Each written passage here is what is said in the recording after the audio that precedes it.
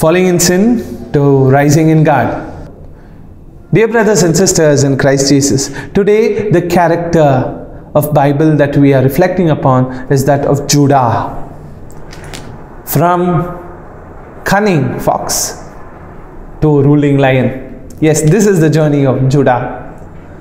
If you know, dear brethren, the property is usually given to the eldest son. The blessings are to be given to the eldest. And in the case of Jacob, he had 12 children, and Judah was not the eldest. Then how will he get the blessing?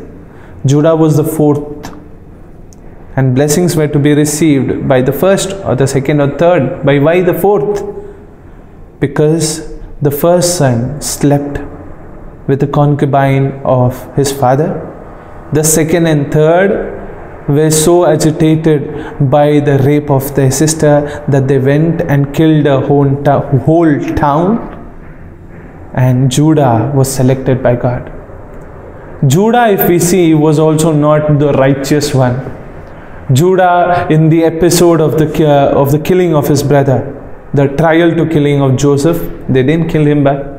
So he was the one who says, Let us sell our brother. Let us not kill him, but sell our brother. Let us sell our brother, he says. And this selling of Joseph by Judah and his brothers is equivalent, is prefigure of selling of Jesus by the people of Judah.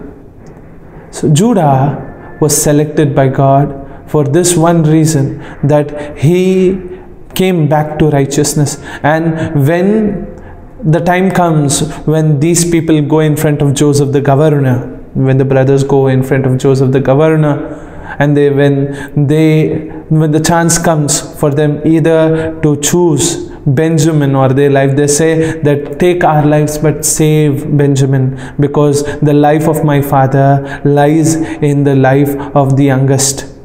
Now they are totally changed. They are not those brothers who were ready to kill their brother, but these are those brothers who were ready to die for the youngest. Judah, then we also know the case that we had with Tamar and how he accepts his fault. And that's how, because he accepted his fault, the Lord God raised him high and he became Judah, from whom the scepter will not be taken. Judah, from you the scepter will not be taken. And in the tribe of Judah was born the King of Kings, the Lord of Lords, Jesus Christ. Amen.